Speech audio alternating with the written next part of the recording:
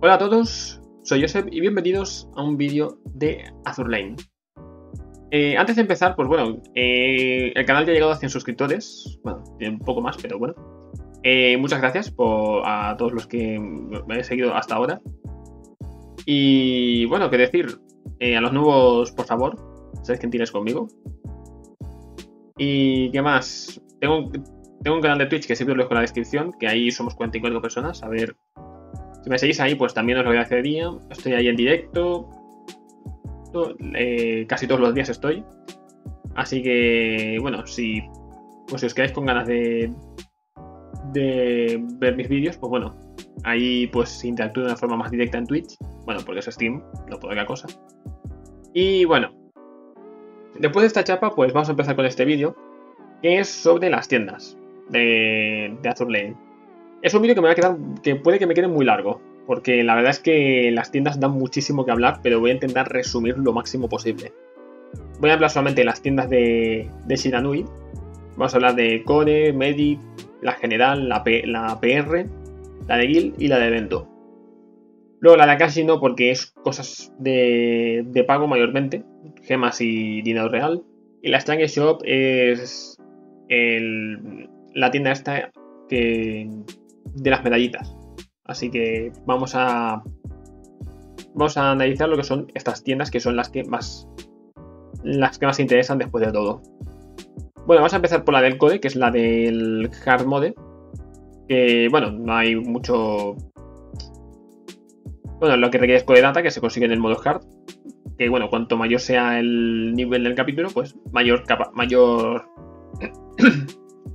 mayor cantidad de coordenadas dan. Y bueno, nos dan diversos barcos. Y también hay mucho gear y cajitas. Pues bien, estas cajitas ni se os ocurre comprarlas. Porque estas cajas esperados al miércoles, sábado y domingo y ya está. Fin. Luego las cajas negras. Si yo tuviese que comprar alguna. Pues bien, de, de interés, pues bueno, la Eagle para conseguir la Twin de 127 mm amarilla, la Royal Tech para conseguir, eh, perdón, el, la Eagle Tech, ya se interesa aquí la Twin de 127 mm y el Hellcat, ya está, es lo único así que interesante que podéis conseguir en estas cajas. De aquí, lo interesante sería la Barracuda, el Sifan y creo que nada más. Sí, nada más. Del Sakura Tech tenemos la triple 155 mm amarilla y, el lanzatorpedos cuádruple de 610 mm. Es lo único así rescatable. Y bueno, del Iron Blue, pues bueno, no hay. La Iron Blue yo creo que nada. Ah, por cierto, se me olvidó. En la Eagle Tech también está el cuádruple buffers. Que también. El cuádruple buffers amarillo, que es un antiaéreo. uno de los antiaéreos más tochos. Pues bien, dentro de los Gears, ¿vale? Em, los únicos que compraría serían las Homing Beacon.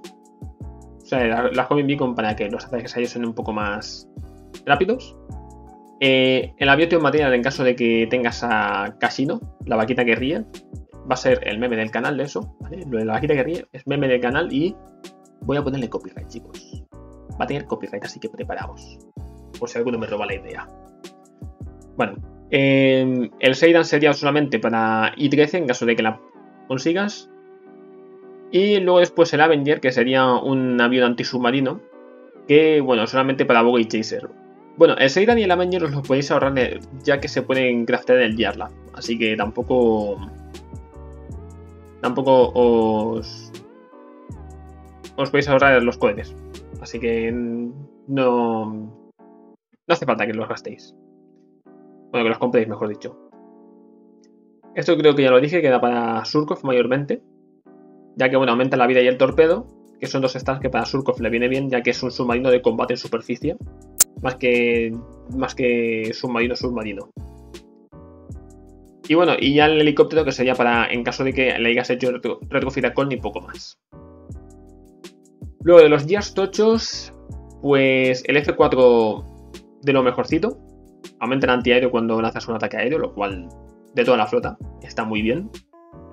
Eh, el Blackwood Firebrand solo si puedes craftear el Wyvern, si no, no lo compres. Em, las balas de colazado. Las balas de colazado se puede decir que es un must. Y luego tenemos el torpedo arcoiris que para barcos que tienen por torpedo, tales como los submarinos y, destructores y la mayoría de destructores japoneses como Sayanami, Kajero o Shigure, que son buenos ejemplos, eh, es un yar que es fundamental para ellas. Pues bien, luego en cuanto a los barcos, ¿hay algún barco así que merezca la pena comprar? Pues bueno, yo quizás pillaría a Haruna, ya que Haruna cada vez que dispara aumenta el daño que causa, que no está nada mal si le pones una torreta rapidita. Mutsu es una Nagato prácticamente, solo que un poquillo más nerfeada, así que yo creo que Mutsu puede estar muy bien. Y bueno, Kongo es un acorazado también muy decente. Y luego también tenemos a Emile Bertin y a Lemars, que en caso de que quieras hacer una vanguardia de support francesa, una vanguardia de apoyo francesa, pues Emile Bertin y Lemars es un combo bastante bueno. Bueno, Emile Bertin sigue la pillaría. Lemars no hace falta porque en Water Chips te puede salir de drop perfectamente. Así que Lemars, si tienes suerte, te puedes ahorrar mil codes. Y bueno, Musketeer también es otro barco interesante porque, contra porque revienta los submarinos que da gusto. Pero luego después tienes a Matchless que es de Will, así que Musketeer no es tan urgente, digamos. El resto, pues bueno, a no ser que sea para colección. Bueno, si quieres comprar cascos en caso de que la quiten en N, que nunca se sabe. Pero bueno, poco más. Y bueno, bueno, a ver, mucho y Mini Bertin sobre todo las pillaría ya que, ya que solamente se pueden pillar en code y no se pueden pillar de otra forma. Y el resto pues se pueden pillar perfectamente de drop en mapas de Chips. Así que eso sería todo en cuanto a la tienda del code. Bueno, en cuanto a la tienda de méritos, que es la tienda del Code Shop, de Code Shop no, coño, de la tienda PvP iba a decir. Se me va un poco la pieza, chicos. Pues bien, eh, si habitúas mucho el PvP, yo creo que a lo mejor te interesa bastante la tienda. Y a ver, si estáis. Suponiendo que estamos empezando, pues. Lo primero que pillaría sería o Eldritch o Sodakota, uno de estos dos barcos. Eldritch ya hice una guía que voy a dejar una tarjeta para el que no la haya visto todavía. Y luego después Sodakota. Eh, es un barco que, bueno, estadísticamente está muy bien. Tiene muy buena FP, tiene bastante vida y tiene un antiaéreo muy bueno. O sea, es un corazón bastante completo en ese sentido. Y bueno, le han hecho un rework hace un par de meses. Bueno, cuando, cuando se lanzó Operación le hicieron un rework a su Dakota que ahora es bastante más usable. Y bueno, Albacor es un submarino muy bueno contra portaaviones, así que eh, si vas a aventurarte al capítulo 13, yo creo que Albacor, Albacor puede serte muy útil.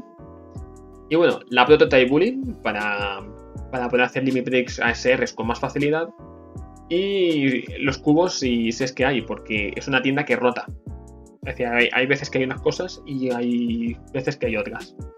Las cascas no merecen la pena y los otros barcos solamente los pillaría por colección, porque por lo general son barcos que, bueno, están ahí, ahí, no son la hostia, pero eh, a no ser que sean para colección, yo creo que pueden ser prescindibles perfectamente. Bueno, la siguiente tienda es la tienda general que eh, los precios están a monedas, pero esto también puede costar los gemas, así que vigiladla bien. Y bien, esta tienda se reinicia tres veces al día, ¿vale? Una se reinicia cuando te dan el login, que viene a ser. aquí serían las 7, las 8 de, la mañana. Luego hay otro reinicio a las 8 de la tarde, en el. Y luego hay otro reinicio que no sé si es a las 4 o a las 5 de la mañana. No estoy muy seguro. Pero bueno, la tienda se reinicia unas tres veces al día aproximadamente, para que os hagáis una idea. Pues bien, em, comprar, pues bueno, lo compraría todo, pero ojo, tener, en cuenta de que hay veces que hay descuentos en la tienda. Es decir, esta tienda hay veces que hay descuentos, así que eh, todo es comprable, pero eh, vigilad, pero vigilad bien lo que queréis gastar, porque porque igual a lo mejor em, vas justo de monedas, pero a lo mejor te interesa el full curse Que mira, la de veces que me ha salido esta mierda y no he tenido monedas para comprarla. Me ha salido a monedas y las veces que no he podido. Pero bueno, en caso de que los objetos así, lo más interesante, el Full Course y el Royal Gourmet, porque son, son es comida de Dorn que aumenta la experiencia, aumenta muchísimo la experiencia. En Naval Curry puedes si te sobra aceite puedes comprar aceite y ponerlo, así que mm, así te ahorras unas monedas. O sea, si vas sobrado de aceite, pues bueno, compras Naval Curry en el Dorm y ya está. El Royal Gourmet y el Full Course es, en el Dorm cuesta gemas, así que si lo encuentras con monedas, no desperdices la oportunidad. El cubo. Em, el cubo si está, lo compra eh, a monedas, cómpralo sí o sí. O sea, hipoteca, o sea, hipoteca el puerto o lo que sea. Que sí, a ver, es un cubo. Pero un cubo lo cambia todo, chicos. A lo mejor después. A lo mejor si, no, si hubieses comprado ese cubo, a lo mejor te hubiese salido Veneto. O. O Áquila. O sea, eh, a lo mejor ese barco que te faltó. Si hubieses comprado ese cubo. pero a ver, tengo un cubo. Hay un cubo en la tienda. A lo mejor compras ese, ese cubito. Y pum, te sale el barco. Nunca se sabe, chicos. Así que si veis al cubo con monedas, vamos. Correr como zombies a por. Y bueno, las cajas de, equipamiento, la moneda, la mayoría se la compraría si, si tiene un descuento bestia, porque es que la mayoría veces, porque muchas veces cuesta 25.000, pero cuando hay una rebaja de la hostia, porque hay rebajas muy tochas, de hecho, bueno, una vez encontré un cubo que bueno, costaba gemas, pero tenía un 90% de descuento, es decir, eran dos cubos a 6 gemas. O sea, brutal eso, la verdad, muy, muy bestia. Así que, así que bueno, revisad bien la tienda, y ya os digo, si no está a monedas y si no está a monedas, no, no compréis. ¿Vale? Y eso. Y mayormente priorizar estos dos objetos y esto. Esto es lo que más priorizaría en, la tienda. De resto, pues bueno, si, si quieres lo puedes comprar y si no, tampoco pasa nada. Así que bueno, vamos con la Prototype Shop. Y bueno, la Prototype Shop tenemos estos dos objetos que en caso de que no le tengáis en retrofit a San Diego y a WSPR respectivamente, pues comprarlos solo una vez, ¿vale? En caso de que quieras tener, no sé, dos San Diegos o dos Waspas con retrofit. O, o, hacer un dog full de Sandys o Wasp Retrofit. Que bueno, ya me he visto un dog full Cleveland, así que ya me puedo esperar cualquier cosa. Bueno, esta Bully Arcoiris no la compraría hasta que no saquen otra VR. Porque es que no solamente gastarías 4.000 puntos de estos de una forma absurda, sino que encima estarían ocupándote el dock. A no ser que quieras subir una al 120 porque te da, no sé, te da gusto subir una bully de estas al 120. Que nunca se sabe. esto lo compraría sí o sí si se puede. Y. Y bueno, también esto de aquí, los planos de PR. Y ya si tienes los barcos amaxeados, eh, pues compraré estas dos cosas que, los puedes transformar en planos de, de de PR, de PR, solamente de PR1 y PR2. En caso de que compres los de PR1, los que, trans, los que convertirían serían en esto, bueno, en todos, menos en este antiaéreo y esta torreta. Pero esta torreta es muy buena, esta también está muy bien, esta también está bastante bien y esta pues como auxiliary gun para, para también está muy bien. Y de la Season 2 pues lo único, lo único que no... Las únicas serían la Twin de 406 y la Triple 152 ya que ya que este antiaéreo es me, este antiaéreo, pues bueno, es un es un también me, a no ser que bueno, a no ser que requieras de un antiaéreo amarillo, pues no los pues no los captaría, pero si necesitas un antiaéreo amarillo, pues mira. Y esto, pues bueno, solamente Azuma la puede llevar, así que solamente vas a tener una torta de estas, así que en poco sentido tiene craftear otra. Y bueno, los PR codes, por cierto, se consiguen eh, descartando planos de PR. Que bueno, los planos de PR de barcos. O sea, las PR son 5. Eh, Y los planos de Fredrich, Drake y Azuma te dan 20. Así que, bueno, si, si tienes suerte y tienes una Fredrich a Dev 30, pues bueno, son 20 PR. Haz, research de Fredrich que son 20 PR codes gratis y, y bueno, puedes comprar esto con más facilidad y así acelerar eh, la research de la otra, de Azuma. Así que no está para nada mal. Y ya por último tenemos la tienda, perdón, la tienda de la Guild Shop, me falta la del evento. Que bueno, la Guild Shop, pues bien, solamente compraría estas dos cosas de aquí. Los planos de retrofit, si urgen, los pillaría, si no, no. Y bueno, eso también. Las placas doradas sí, las otras dos no son tan importantes, pero esta de aquí sí que la compraría. Luego, de los planos de PR, pues todos a poder ser, yo priorizaría los, los planos de PR sí que los pillaría todos. Y bueno, luego después lo de Rare Ship, Elite Ship y Limited Ship. Ahora después comentaremos esto. Pues bien, de las Rares, eh, si tuviese que pillar alguna sería Shoujo, ¿vale? Porque Shoujo, Portland o Phoenix tal vez. Serían de esas tres quizás las que más pillaría. Pero si tuviese que elegir uno en concreto sería Shoujo. De las élites, pues bueno, todas son bastante decentes. La verdad, así que yo creo que priorizaría sobre todo a Elena, porque Elena contra bosses es bastante potente. London es muy polivalente gracias a su artillería y command de Vanguard. Unicorn es una healer muy buena. Y bueno, de esas tres quizás, pues eso. Priorizaría Elena, London y Unicorn. Y a The Limited, pues yo quizás no pillaría ninguna. Si, eso quizás la única sería Yugure, porque Yugure eh, es un buen destructor, te apoya portaaviones. Pero eso, chicos. Eh, de todas formas, no. Yo creo que mejor ten paciencia y a ver si te sale de Will, porque es que son 2.000 monedas y es mucho. 2.000 monedas son muchas. Y puedes. Y yo creo que prefiero más ahorrarme estas monedas para comprar eh, esto de... Eh, bueno, de todas formas, mejor dicho, eh, los barcos yo no los pillaría, porque es que todos te pueden salir de Will, pero todos, a no ser que... A no ser que los quiten de la Will y pongan solamente se pueden conseguir de esta forma. Pero todos se pueden conseguir de Will o inclusive de Drop.